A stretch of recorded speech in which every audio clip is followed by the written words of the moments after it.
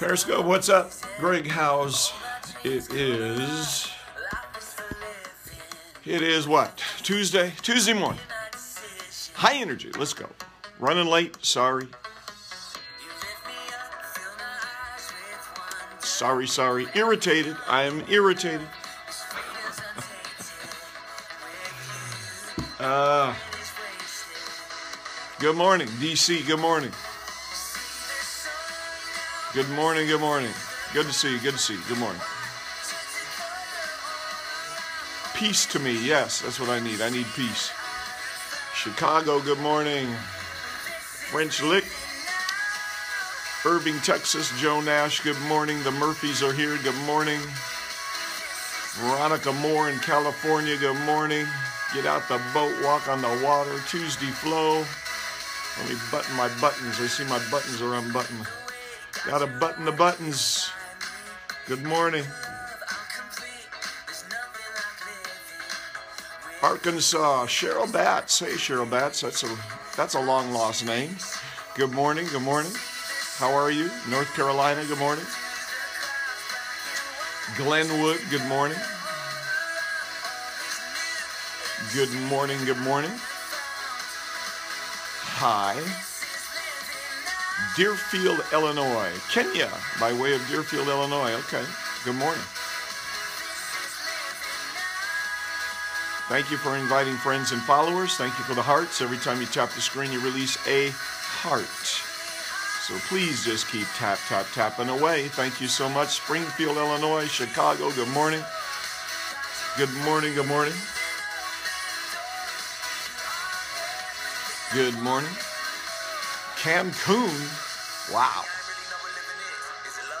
Is that the silver anniversary couple? Cancun. God bless you guys. High Energy Tuesday. Let's go.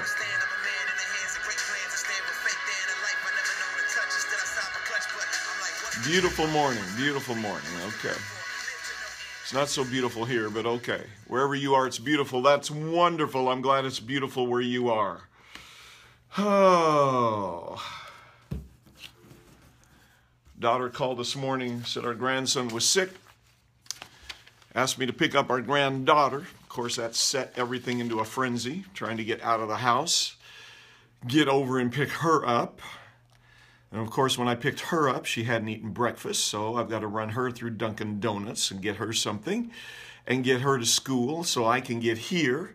So it's just been rush, rush, rush, rush, rush, rush this morning. But here we are. So take a deep breath.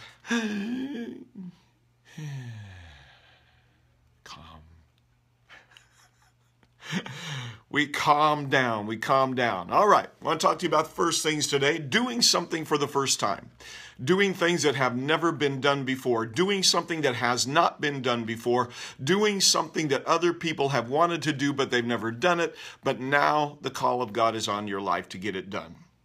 So, in order for this to happen, you need a big idea, you need a vision from God, you need a revelation from God. Once you have that, it's important that you exercise some big faith, some strong faith, that you move in a high degree of courage because you're going to have to take some risks. You're going to have to increase your capacity for enlarged vision in your life. You're going to need that. You're going to need covenant relationships that will stand with you and support you in the effort of doing something that hasn't been done before. It's going to be important that you have those covenant friendships with you. You're going to need a breakthrough mindset a mindset that says, I'm breaking through no matter what. Nothing's going to stop me. Nothing's going to hinder me. I am going through. I'm not going to stop. I'm not going to quit until I see success.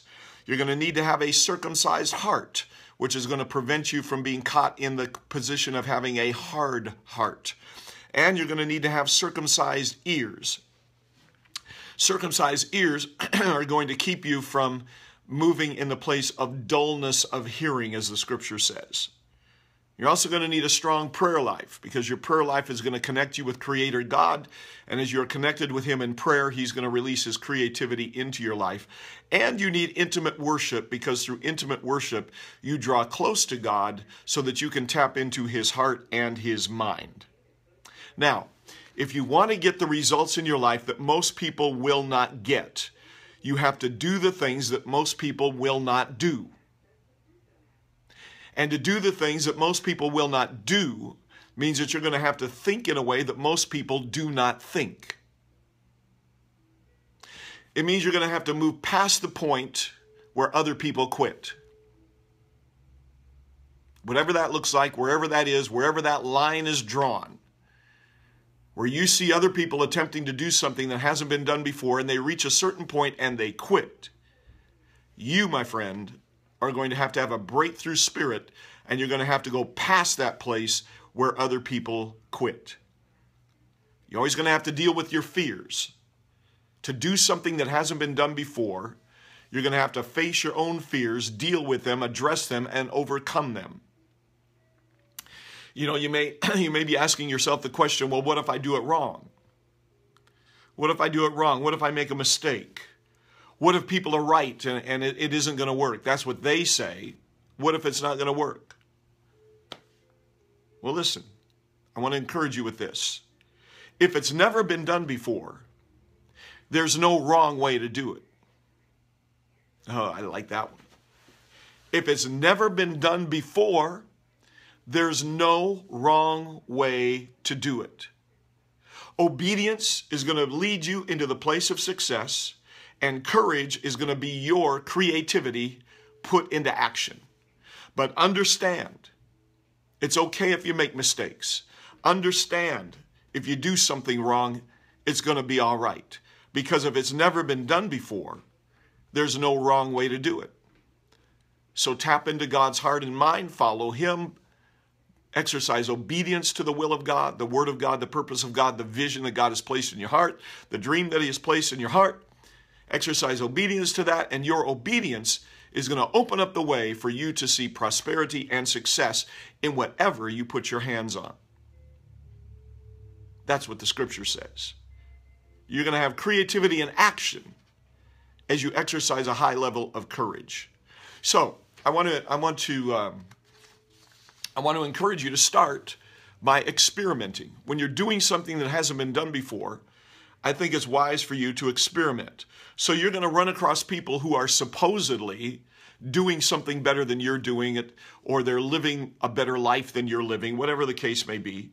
So when you run across those people, discover what they are doing, discover how they are doing it, but don't copy them.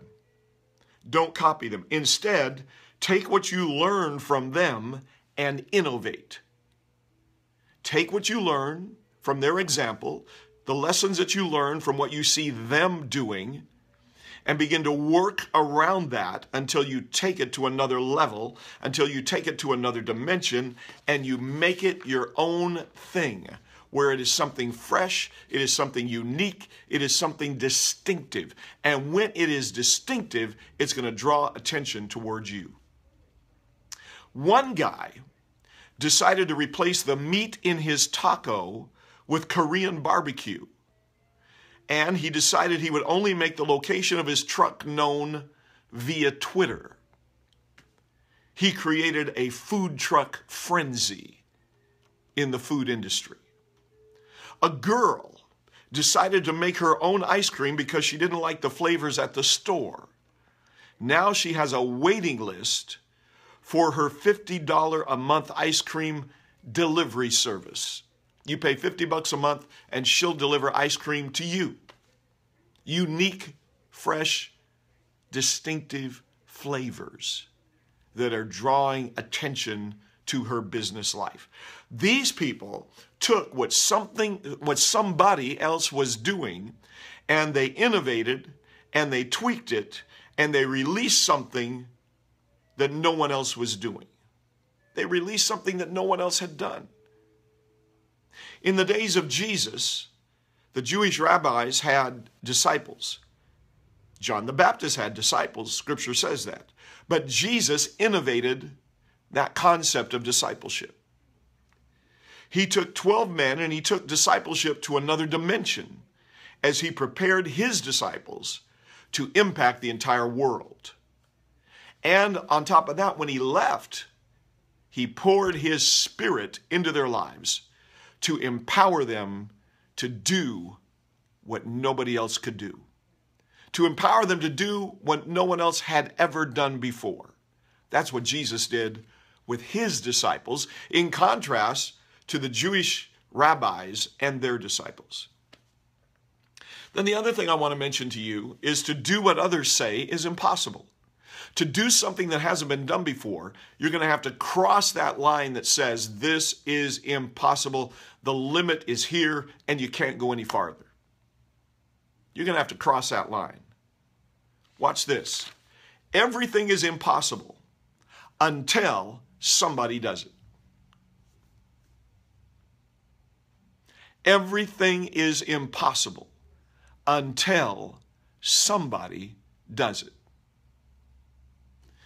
Leading up to 1954, no track runner had ever broken the four minute barrier in the one mile run. They had tried, they came close, but no one had ever done it.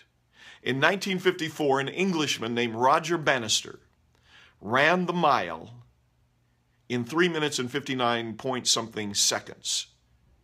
For the first time in history, a man broke that four minute barrier.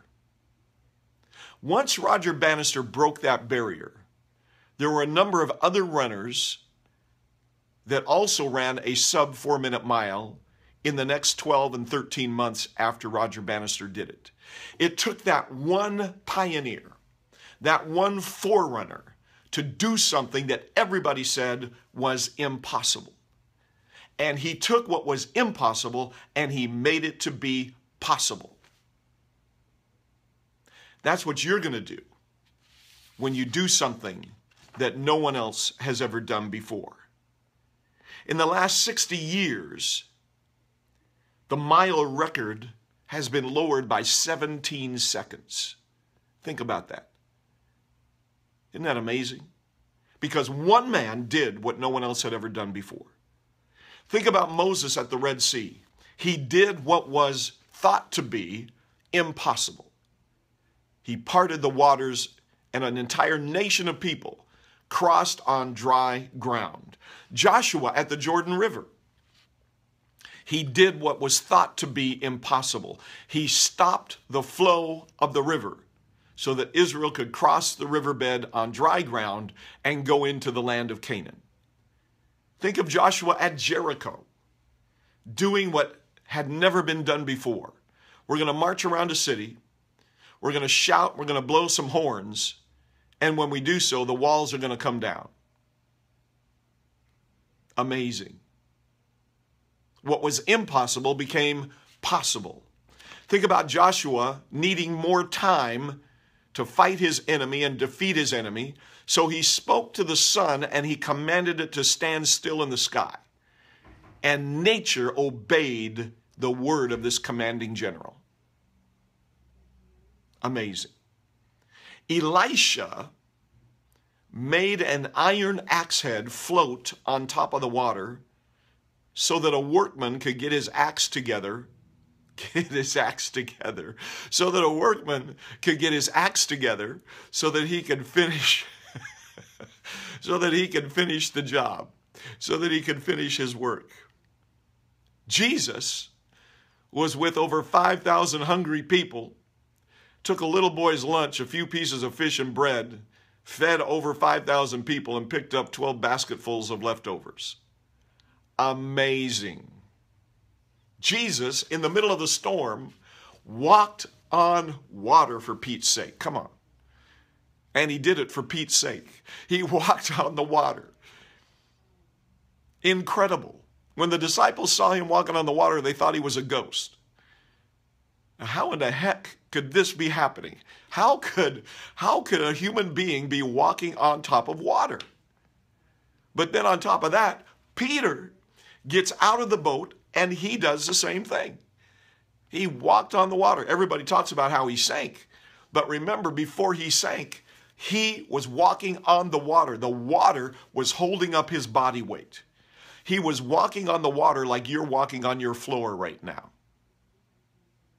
doing what everybody else said was impossible.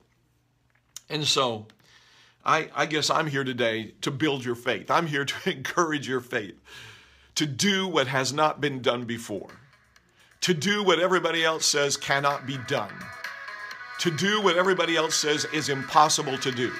No, if God is in it, if His hand is on your life, if He put the dream and the vision inside of you, it is fully, absolutely possible for you to do what is in your heart.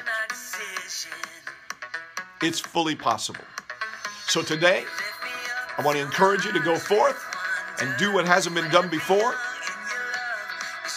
Find somebody that's doing something similar to what you want to do. Learn the lesson, innovate, build on top of it, take it to another level, take it to another dimension. And then begin to do what other people say is impossible to do. God bless you so much. Thanks for being with me. I'm grateful for you. I love you. I apologize for being irritated when I started. God bless you guys. Open doors in front of you today. Opportunities are opening up. People are coming into your life. Resources are coming. Money is in your hands. Favor with God and man coming on your life. Do the impossible. Do what has not been done before. God bless you. Be strong in the Lord and in the power of his might.